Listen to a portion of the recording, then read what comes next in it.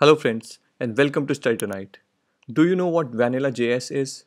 Have you ever heard someone say I've written code in Vanilla JS and googled which library he or she was talking about? Well, this video should clear all your doubts. So what is Vanilla JS?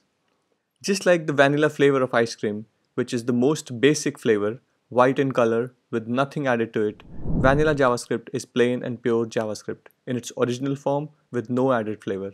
Yes, if you're writing some code in JavaScript without using any external library, then your code is in Vanilla.js.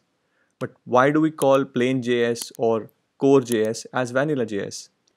It started as a sarcasm, but slowly became a commonly used jargon. In 2012, Eric Wastl coined this term and even created a website for it to mock people using external libraries for coding simple things rather than utilizing plain JavaScript for it, which is true to this day a lot of young developers don't even learn the full capabilities of JavaScript as a programming language and directly jumps on to using different JS frameworks and libraries.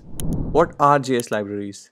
Since the creation of JavaScript, a lot of other frameworks and libraries have been written on top of JavaScript, each with its own syntax, built-in functions, features, and purpose. Purpose is the key here. A library is nothing but a collection of ready-made functions that can be used directly without worrying about how they are implemented. It is generally coded by an individual or an organization and then made open source. Wow, that means these libraries are good? Hell yeah, they are good.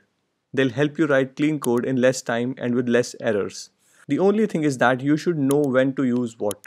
For example, a lot of you must have used jQuery. It is one of the most popular JS library and it makes implementation of event handling and AJAX calls super easy while coding.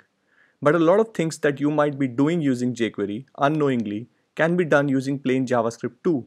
And if you use core JavaScript or plain JavaScript, your code will be fast, won't require any external JS file, and will be more portable as well.